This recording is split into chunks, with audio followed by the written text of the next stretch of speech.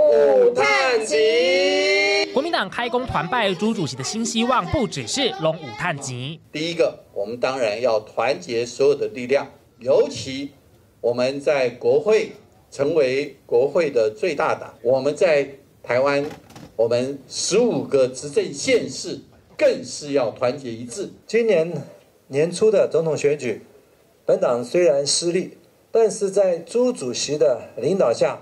成功稳住了立法院的席次。秃子坐镇国会，燕子地方上已经自动瞄准总统大位。朱主席平喊团结稳住当家角色，让国民党内选后升起卢、韩、朱三颗太阳。国民党只是一个平台，我就是就像总教练一样，或者是我是希望做一个引擎，能够呃带动更多的力量给我们立法院党团，给我们的县市长。但朱立伦台面下运筹帷幄，一手主导二十四到二十六号三天两夜，召集国民党团成员前往花莲参加共事营。第一天晚间举办团结晚会，隔天一早重头戏的共事营，朱韩两人出席，由党中央智库报告开议优先法案。兼任政策会执行长的傅昆奇兵推立院攻防。下午各委员会展开分组讨论，强化未来四年党与党团深度连结。通过这样子将近两天多的时间啊，让大家一起好好的深入讨论。担忧立委席次大换血，日后难以磨合党中央。不止每周一固定召开党团大会，邀请智库干部开会，党中央的手也将伸进蓝委们的赖群组。党团有立团团的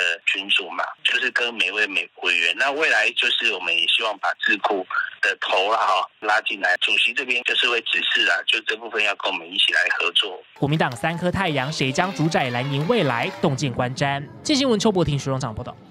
立刻下载静新闻 App，一手掌握新闻时事，尽善尽美，尽好新闻。